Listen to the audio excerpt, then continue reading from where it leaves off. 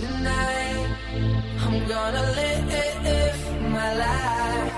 I know that we gonna be alright. We actually met Justin Bieber through Snoop Dogg, which is super random, and we got in with producer RedOne, and you know it was about we have a group of fans that are outside the shows, not quite yet 18 or 21, but they're tweeting us and, and Facebooking us like, hey, we live that life, Far Movement.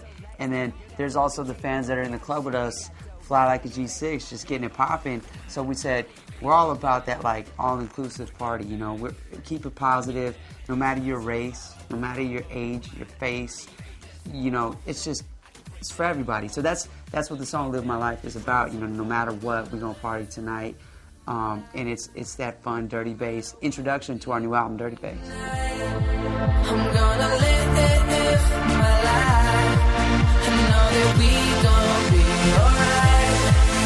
When we finished the song, we were in the studio with Justin, and we cranked the volume all the way up to that dirty bass level.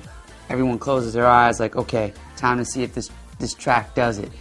Bumping it, all of a sudden, open our eyes and you see Justin over there doing his footwork, dancing, getting crazy. We're like, yeah, he brought the life to it. That's exactly the energy that, that Dirty Bass has. And I mean, you had to have been there to see it, but it was dope. Know, he's working on his project, couldn't make it, so we had to keep the party going. Shout out to Redfoo, who actually co directed the music video.